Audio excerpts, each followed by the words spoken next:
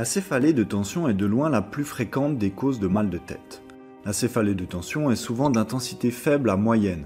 Il n'y a pas de caractère pulsatile, mais plutôt une impression de poids, de pesanteur. La douleur n'est pas augmentée par l'effort. La durée de la douleur est très variable, de 30 minutes à plusieurs jours. La céphalée de tension repose sur des tensions musculaires et une sensibilité des muscles autour de la tête, de la mâchoire et du cou.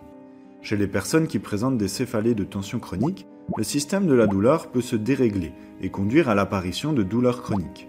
Les antidouleurs permettent de soulager lorsque la douleur est trop intense, mais ils ne sont pas toujours nécessaires. Le fait de s'aérer, de se reposer, de boire ou de manger, de masser la zone douloureuse peuvent suffire à aller mieux. Le fait de pouvoir garder une bonne posture du corps lors de l'écriture à l'école aide également beaucoup.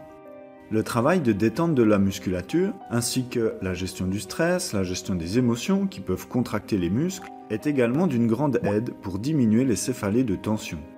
Il est assez fréquent que l'on puisse avoir à la fois des épisodes de migraine et des épisodes de céphalées de tension.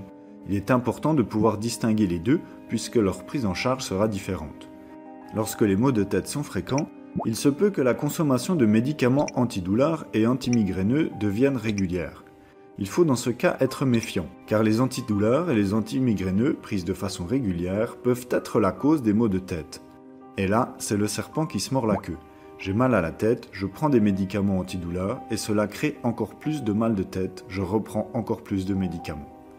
On considère qu'une prise d'antidouleur devient à risque de créer des maux de tête si, sur une période de 3 mois, il y a eu au moins 10 à 15 médicaments pris chaque mois.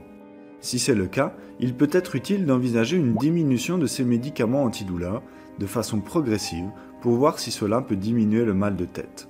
Le traitement des céphalées de tension repose donc plutôt sur une bonne hygiène de vie, une bonne posture du corps, un travail de relaxation musculaire ainsi que la gestion du stress et des émotions.